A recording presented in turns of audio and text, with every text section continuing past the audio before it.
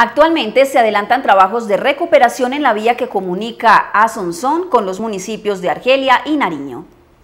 A la fecha ya se han intervenido un kilómetro de vía con pavimentación al natural Lomapia, obras que fueron visitadas por el secretario de Infraestructura Física del departamento el pasado mes de enero. Ahora le, propuse que con recursos, como no ha habido para esta zona, eh, no han asignado pavimentaciones, que con otros recursos de mantenimiento hiciéramos rendirlos y logramos pavimentar este año a la quiebra. Igualmente que necesitamos organizar todos estos baches que tenemos aquí, desde la salida de Sonsón hasta más allá del río arriba, eh, una vía muy deteriorada, que le empezamos a trabajar a eso y, hoy se tiene la maquinaria y se está iniciando los trabajos de recuperación de toda esta malla vial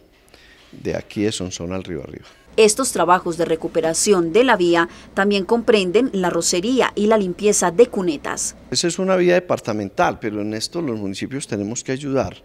y voy a contratar con la Junta de Acción Comunal la rocería de la quiebra hasta, hasta el río arriba. Eh, porque es importante tener vías buenas, definitivamente eh, ese tiene que ser el común denominador, se nos dificulta,